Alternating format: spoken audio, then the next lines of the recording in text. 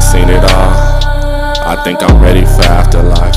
I think you niggas be talking about shit that you don't even know what you talking about. Fuck is you talking about? I think you niggas be talking about shit that you don't even know what you talking about. Fuck is you talking